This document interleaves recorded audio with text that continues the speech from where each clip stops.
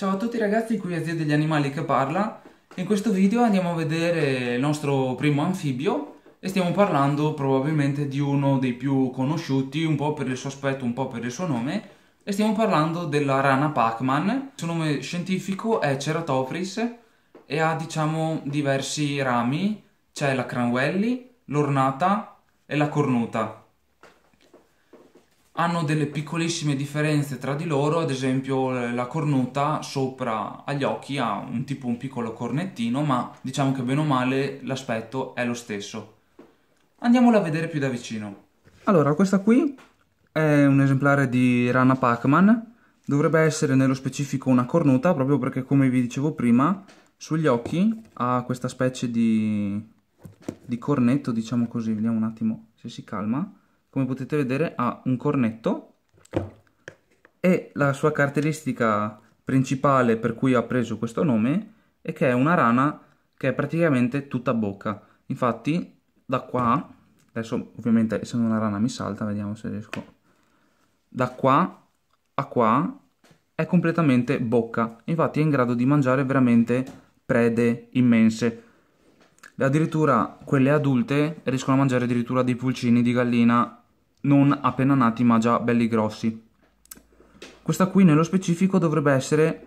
green lime proprio perché ha un verde molto, molto acceso, molto dolce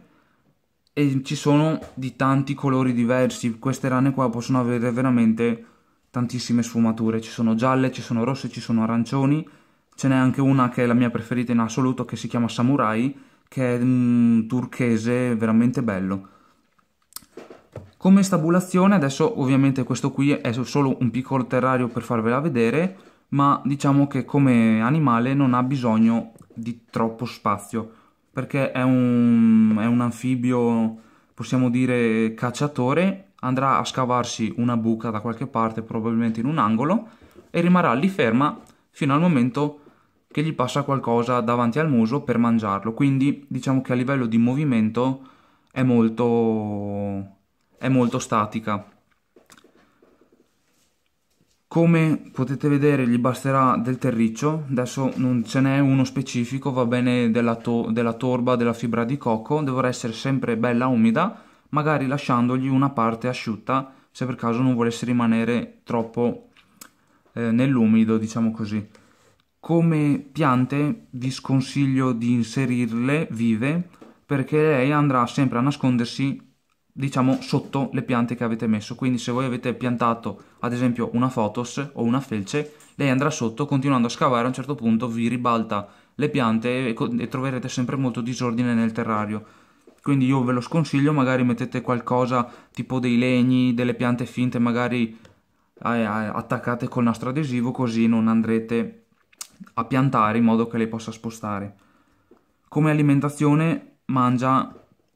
cioè essendo predatore mangia tutto quello che è vivo, quindi in questo caso stiamo parlando di vari tipi di insetti, ovviamente se avete una rana che è grande così, gli andrete ad andare dei semplici grilli, invece se diventa molto più grande potete dargli addirittura delle locuste enormi o dare direttamente di topi, come se fosse un serpente diciamo. Il dimorfismo adesso io non sono troppo sicuro su come si identifichi se non andando dal veterinario, L'unico criterio sicuro al 100% è quando l'animale è adulto, completamente adulto, la femmina è 5 volte più grande rispetto al maschio. Quindi se ad esempio facciamo conto che questo è un maschio, la femmina sarà grande, veramente enorme. Come temperatura andiamo, non dico le temperature di casa, ma ci andiamo abbastanza vicino. L'ideale sarebbe attaccare un tappetino riscaldante su una parete del terrario in modo che riscaldi. Se no potete optare per un piccolo spot, però lo spot ha il difetto che asciuga molto l'aria e eventualmente il terriccio su cui batte. Quindi, essendo lei un anfibio che ha bisogno di umidità, non, non diciamo che non sarebbe proprio l'ideale. Sarà necessario inserire anche un, um, una piccola ciotolina d'acqua dove lei possa, diciamo, sguazzare ma non nuotare perché essendo una rana terricola non sa nuotare, quindi se mettete una bacinellona con l'acqua, lei va dentro, annega, Sembra assurdo ma è così, però basterà un po' d'acqua. Questa probabilmente verrà utilizzata spesso come, come bagno, diciamo, quindi andrà sempre a sporcare quell'acqua lì e sarà molto importante da tenerla sempre molto pulita perché gli anfibi bevono l'acqua tramite la cloaca, quindi se voi avete l'acqua sporca, lei andrà a bere acqua sporca e di conseguenza sarà molto più a rischio di infezioni e tutto quello che ci ruota attorno, quindi l'acqua dovrà essere pulita almeno una volta al giorno. Se volete fare una cosa veramente fatta benissimo potete optare per un piccolo filtro, ma diciamo che inizia a essere una roba molto complicata e non la consiglio a nessuno.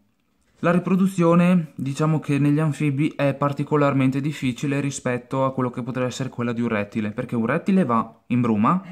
non tutti, ma di solito va in bruma e dopo si accoppia in primavera.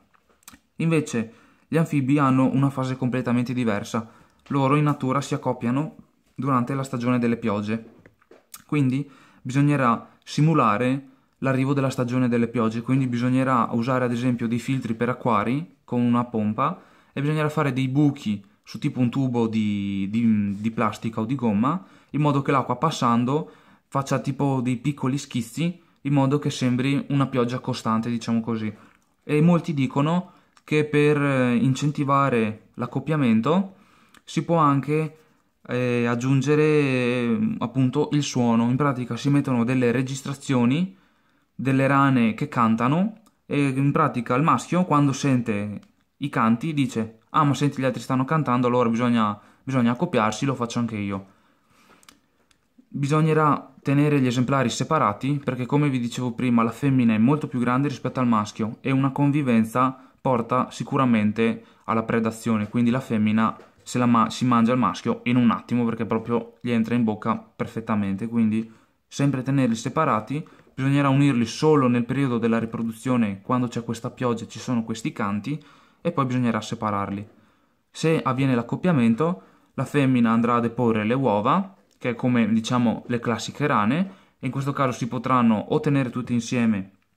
o separarle una a una, diventeranno da girino, il girino crescerà, a un certo punto metterà le zampe, perderà la coda e diventerà rana completa. È un po', diciamo, questo diciamo che è molto simile anche ai rospi che ci sono qui in Italia, diciamo così. Come integrazione io vi consiglio ogni tanto un po' di calcio, non, non dosi massicce perché essendo un anfibio non ha bisogno come per i rettili, ma comunque sicuramente un po' non guasta.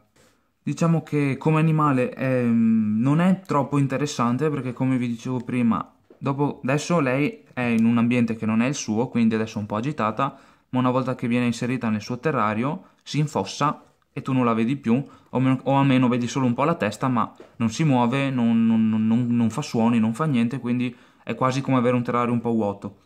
L'unica cosa è che è un un'altra caratteristica di questa rana che purtroppo questa non fa, è che quando viene disturbata si gonfia particolarmente, quasi come una cornamusa, e a un certo punto inizia a emettere dei suoni che sembra un abbaio, cioè fa proprio un abbaio, devo vedere se riesco a recuperare un mio vecchio video che ne ho avuto anche io una,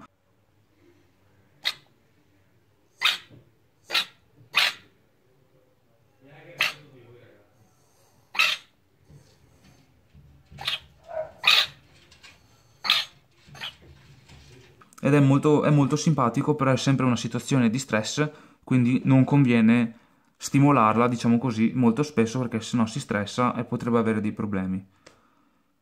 È un animale che ha un costo relativamente basso, possiamo passare dai 30-35 euro per gli esemplari più semplici fino a salire anche ai 100 euro, 150 per esemplari molto colorati o adulti. Ad esempio una samurai costa un centinaio di euro, più o meno di queste dimensioni.